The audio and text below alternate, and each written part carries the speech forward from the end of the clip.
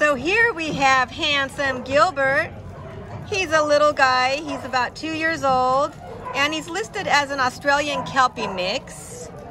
And his animal ID number is A5524559. And he came into the Baldwin Park Animal Care Center as a stray on December 26th. Vivi has been spending time with him, so tell us about him, Viv. He's the sweetest dog. He's got a lot of energy, but he just needs some basic training. I was throwing the ball with him and he was really excited with it. He seems to want to play with other dogs, so he's just very excitable, but he walks well on a leash. Um, he's just a little love bug. He, don't be intimidated when you um, see him in his kennel because he's a little bit barking, a little bit fearful, but once you get him out, this is how he is. Yeah, he's, he's a playful.